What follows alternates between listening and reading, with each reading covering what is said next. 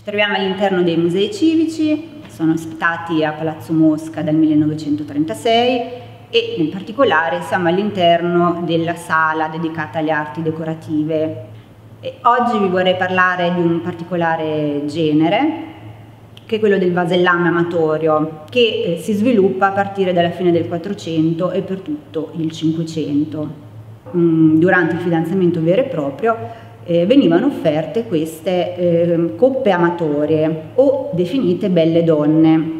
Sono delle coppe in cui appunto è rappresentato il ritratto della donna amata, venivano offerte appunto come dono di fidanzamento, scandivano questa fase. Ritratto della donna amata che è un ritratto mh, mm, non realistico, ma è un ritratto idealizzato, stereotipato, anche perché i ceramisti utilizzavano sempre lo stesso modello e cambiando alcuni particolari descrittivi o, o, della, o dell'abbigliamento.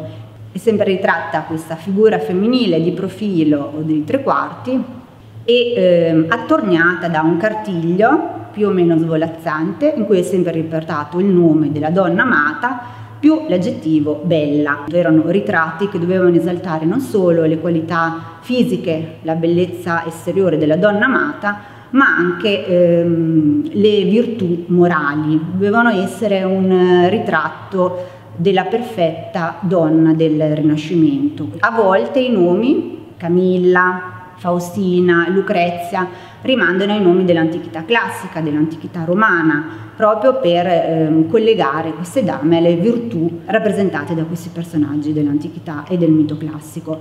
La prima coppa amatoria conservata nella collezione Mosche importante è la Faustina Bella, importante per il primo esemplare datato 1522 di questa tipologia eh, decorativa. E anche qui troviamo il ritratto eh, di questa dama con, che è abbigliata con un, uno scudo dove troviamo un, un cherubino alato e ehm, alla base nella, nella veste l'immagine di un delfino con un nastro.